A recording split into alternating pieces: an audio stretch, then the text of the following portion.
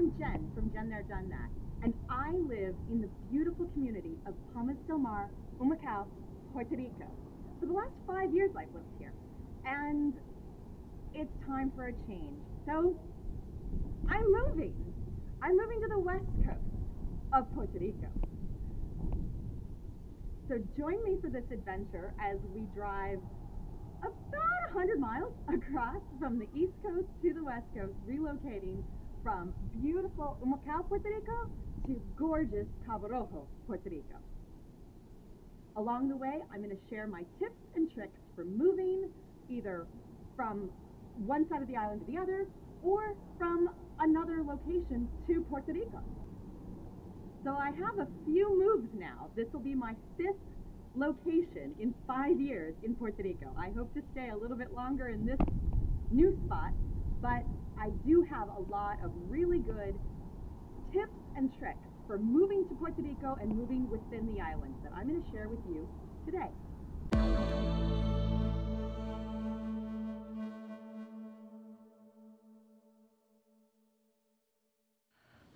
Moving day, they are all packed up, loaded, ready to go. Wow, this is a lot of work.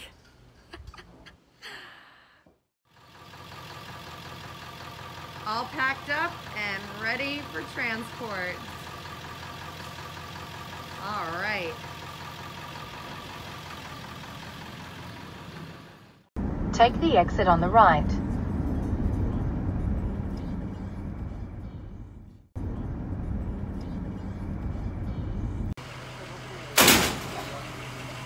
Moving in the rain. Oh, so fun. All unloaded. Uh, we have a different truck than what was loaded yesterday. They swapped everything out of the smaller truck into a larger truck. I'm not sure why, but it's all here. It's all unloaded and whew, I have way too much stuff. This was exhausting and let's talk about all of the lessons I've learned and what I would definitely do differently moving across the island in Puerto Rico. I'm finally moved, cat and all. uh, so now I'm going to share with you all of the tips and lessons learned and tricks that I've learned from this move and well, all the others as well. First thing contact the moving companies as soon as possible. Um, give them a lot of lead time. As soon as you know exactly or even a, a best approximation of how much you're actually going to be moving. All of the companies I contacted and the quotes that I was trying to get were based on how much I was actually shipping. It wasn't just a matter of, hey, do you guys ship from wherever to Puerto Rico or from this side of the island to the other? It is, what are you shipping? How much do you have? When are you trying to do it? And that type of thing. So I had to wait until I knew exactly how much I was shipping. I tried to purge and downsize before this latest move, but I have a lot of stuff, uh, mostly electronics. So that was one of the big things to keep in mind is um, my moving needed to be in an enclosed truck. Uh, the last time I moved, I was just moving within Palmas del Mar to Palmas del Mar. I moved one mile. And frankly, I just hired a few guys with a pickup truck and uh, they made quite a few trips, but that pickup truck, and I think there was a flatbed for one of the couches or something. It worked out beautifully. And since they were only going one mile, it was very easy. I packed up everything myself. I didn't really have to hire anybody for it. But this move was over a hundred miles from Humacao to Cabo Rojo. East Coast, or yeah, East Coast to West Coast. I'm not even sure what coast I'm on right now. Um, so East Coast to West Coast. And it rained while we were unloading, if you just saw that. And I knew that it would be raining on the drive. I it just, it's Puerto Rico. It rains. So expect the rain and plan for it, but know what you have and whether or not you need the big, large truck. If you're moving from the States to Puerto Rico, you absolutely have uh, it's going to be enclosed. Uh, whether you're shipping yourself um, a full container or um, boxed items, you it's going to get wet. So make sure that it's it's going to be taken care of. Um, the other thing that I learned the hard way is yes, I moved in December, which is the worst time to move. Uh, between November, December, and January, we have a lot of holidays. Many people are moving into the moving to the island, and it was absolutely just the worst timing. A lot of the companies I tried to get hold of, I couldn't even respond, or they definitely couldn't. They were trying to work with my dates and what I had. Um, December's absolutely the worst, but November, December, January are really tough for shipping. Um, some of the US to Puerto Rico shippers are uh, Crowley, Mayflower, Unlimited Services, uh, La Rosa del Monte. A lot of people I know use them, very happy with them. Um, and U-Pack. U-Pack is probably the cheapest option. And um, they literally, it, you pack it all yourself and it's a container that arrives in San Juan. Um, friends of mine use this and all of their stuff made it to San Juan and then they had to arrange for separate shipping from San Juan to Palmas del Mar in Humacao. So definitely make sure that they can do door to door if that's important to you or if you're trying to be um, on a smaller budget, U-Pack may be a great option for you. None of them were good options for me on this move because they do uh, basically what they consider international, but US to Puerto Rico. I'm moving from Puerto Rico to Puerto Rico. So my best options really were uh, Sol Moving Group and Pryco. And um, I ended up going with Pryco. They did a really good job, except if you just, as you just saw, they unloaded everything in the truck uh, that they sent on the first day. It was driven back to Carolina in a secure, locked facility. So I asked about that. I made sure that they would take care of my stuff. Uh, then I found out when they arrived in the morning, they had unloaded everything from the smaller truck that was packed perfectly. Uh, they unloaded everything and reloaded it into a larger truck. And we were actually the fourth stop when they finally delivered it. Um, I definitely would have paid a little bit extra to not be the fourth stop and have all of my things unpacked and repacked before they were unloaded.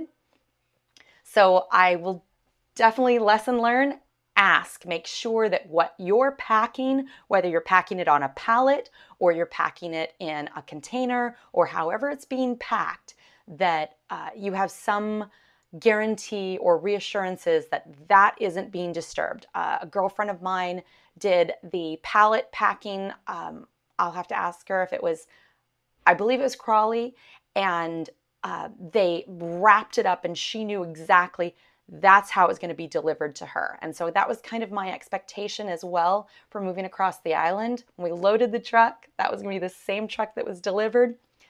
It wasn't. So definitely ask if you're doing um, island shipping. The other option is when we first moved here, I didn't actually use any of these shipping companies. So all of them, I've asked my friends that have moved in the last year or two who they've used. So I can definitely make those recommendations based on my friends' experience. But when we first moved here five years ago, I started contacting some of the shipping companies and asking about prices and uh, all of the information. And I just realized that, frankly, it wasn't worth it for me. There were a few things that I, I packed up and I brought on board the plane, all of my electronics, pets, uh, those things actually came with me, and I made a couple trips to make that happen. And then some of my artwork and larger items, I shipped USPS. Uh, we are a US territory. The United States Postal Service delivers here, and they do a great job. Not during the holidays, try to avoid the holidays. but they shipped everything to us and I was able to get very reasonable rates and it took a little longer, but I got exactly what I wanted, my stuff delivered without any damage for a reasonable cost. So that is one option you may want to consider. Just sell everything or the majority and and buy new when you get here. Um, we recently just bought a new bed and mattress frame from Costco. They deliver on the island. They're a great option for beds and large furniture and uh, you know everything you would normally buy at Costco. We have Costco and Sam's Club here in Puerto Rico. Uh, also, I'm a big Amazon Prime shopper. I know. Um, they don't always ship everything here. FedEx and UPS sometimes consider Puerto Rico a foreign country. so um, if you find that they're not shipping to you, sometimes I just go and I check eBay for new items and especially for electronic cables, replacement items like that. eBay is excellent. So I've gotten, I've had a lot of things sent to me uh, that I purchased on eBay that will send to me here in Puerto Rico. So that's also a great option if you're buying new or replacement. Um, fair warning because of the salt water we have here and just the humidity, electronics have a very short shelf life. So, um, electronics and like my laptop, I had I had a laptop that was a year and a half old and it just died. Um, and that was a laptop I was expecting to at least make it to three, maybe even four years as a backup laptop. No, it was completely dead from the humidity and salt water. So I take better care of my electronics now uh, in my office, but I have a lot of electronics and they do fail uh, more frequently here just because of the humidity and, and salt water, depending on how close you are to the water. Um, the other thing I didn't do is I didn't ship a car here. I looked at whether I wanted to ship a car here or buy a car here. And I ended up buying a car here. I bought a couple cars here now. And um, the excise tax is anywhere from 20 to 30% on your vehicle. And I looked uh, for my primary vehicle, it was going to be 25% of the value. And my, my vehicle, uh, my SUV, was less than two years old. And the value that they assigned to it was not a Kelley Blue Book value. It was not what I could have gotten for my two year old vehicle. It was a substantial amount of money to spend uh, to bring that to the island just for the excise tax, not to mention bringing it all the way from Arizona to the ports in uh, Jacksonville, Florida was one option, and then cargo shipping it down. So that was a choice that I made. But there are a lot of people that decide they have vehicles that have sentimental value, they just love them for whatever reason. But the biggest benefit is elect- um, the electric vehicles, uh, electric and um, hybrids. So the excise task is, tax is completely waived for electrics and hybrids. So it's definitely a, a better option for a lot of people. They've decided that uh, they'll ship down their uh, their vehicle that they don't have to pay the excise tax on, and um, it's a really good option for them. Uh, once you do ship your vehicle down, whether it's electric or not, um, you have to register and plate it uh, with the Puerto Rico Department of Transportation. And DTOP, if you haven't dealt with them yet, they can be a real, it's not easy.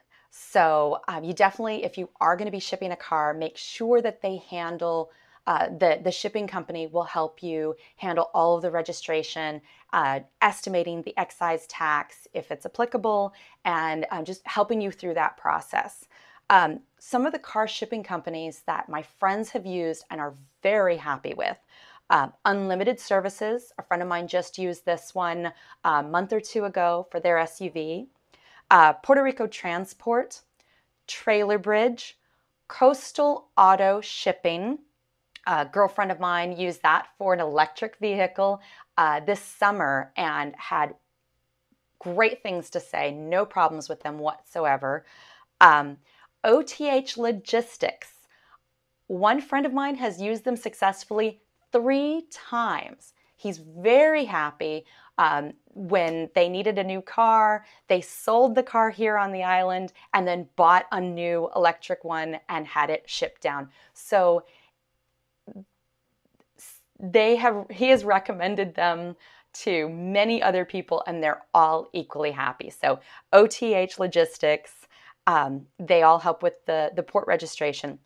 And La Rosa del Monte, who also does uh, all of your furniture, antiques, your stuff.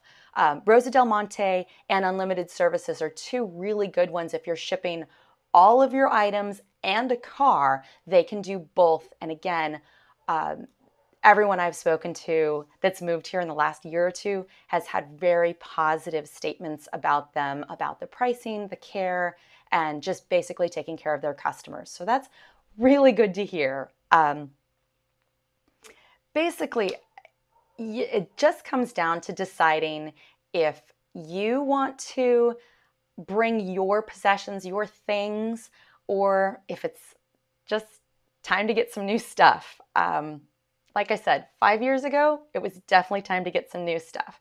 Since then, I've acquired a lot of things on the island, too many. but um, there are some great options for renting furnished places. So if you're if when you're first moving down here, if you're not sure you even want to ship all of your things here, it's a great option to come down and just rent a furnished place and decide do I want to go through the hassle of bringing my own stuff in? Do I want to rent a furnished place? Or am I just going to buy all brand new stuff? It's really up to you, but you have a lot of great choices whether you're moving from the, the States or other places to Puerto Rico or just across the island. So I hope this was helpful.